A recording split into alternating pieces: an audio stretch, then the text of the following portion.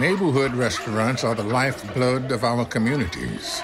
They are where we come together and make lifelong memories. And right now, they are facing extinction. The COVID 19 crisis threatens to permanently close 85% of independent restaurants.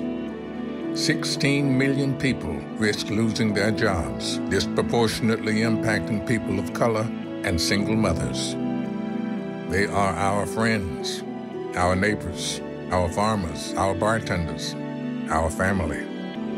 One in four people who lost their jobs during the pandemic were restaurant workers.